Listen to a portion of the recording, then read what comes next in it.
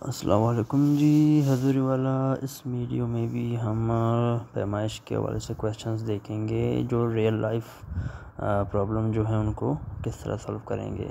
जैसे अगर कोई कहता है, भाई, आप, मैंने इतना लीटर पेट्रोल डाला है, फिर वहाँ से जाकर उतना लीटर पेट्रोल डाला है, फिर मैंने ये किया तो फिर कितना हुआ, या फिर कितने बाकी बचे? इस तरह, ठीक है? इसे कहते हैं रियल लाइफ प्रॉब्लम्स वगैरह वगैरह। तो यहाँ पर भी मैं आपको एग्जांपल समझाऊँगा। फिर ये जो मश्क है, इसको आप खुद ट्रांसलेट करें, इनके क्वेश्चंस हल करें। ठीक है, क्योंकि ये बुक इंग्लिश में है। अभी हर एक को अगर मैं ट्रांसलेट करूँ तो वीडियो भी बहुत लंबे हो जाएँगे। तो ये आप इंशाल्लाह कर सकते हैं। अब मिस्टर आसिफ, एक एग्ज़ाम्पल मैं आपको समझाऊँगा। Mister Asif bought two litre 500 millilitre milk from one shop and 5 liter 70 75 milliliter from another shop. How much milk did she buy? ठीक है मिसेस आसिफ ने, मिस्टर नहीं, मिसेस आसिफ ने दो लीटर पाँच सौ एम दूध एक दुकान से और पाँच लीटर सात सौ पच्चीस एम दूसरी दुकान से ख़रीदा। टोटल कितने हुए? जमा करना सिंपल सी बात है। ये आप ज़ुबानी भी कर सकते हैं। तरीका वही है लीटर को लीटर के नीचे मिलीलीटर को मिलीलीटर के नीचे। अभी ये जमा किया, आपका आंसर ये आ गया। उम्मीद करता हूँ ये क्लियर है बहुत। अच्छा नफ़ी वाले की एग्जांपल देखेंगे। अच्छा क्वेश्चन ये वाला है। देयर इज़ एक मिनट हाँ।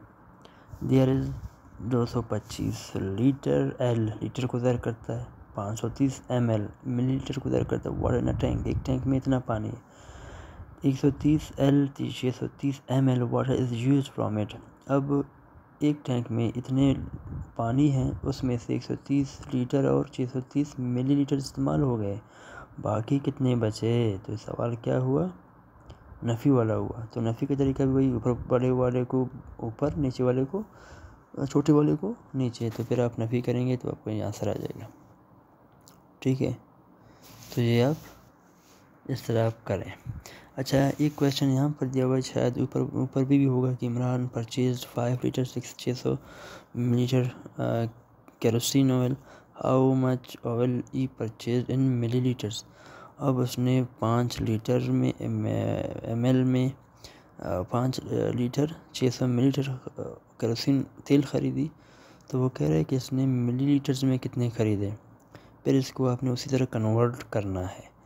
अब ऑयल परचेज पाँच लीटर छः सौ एम एल वन लीटर में हम जानते हैं कि हज़ार एम एल के बराबर है। तो पहले आप क्या करोगे? पाँच को लीटर एम एल में तब्दील करोगे, जब आपने तब्दील किया। तो पाँच हज़ार आ गए, फिर पाँच हज़ार को छः सौ एम एल में तब्दील करो, जमा करो। फिर ये आपका आंसर आ जाएगा, ठीक है ना? सिंपल है। तो इस तरह ये क्वेश्चन आप करें। इसकी आप ट्रांसलेशन करें। ये, जो ये क्वेश्चन मैंने समझाए हैं, ये भी उसी तरह के क्वेश्चन हैं।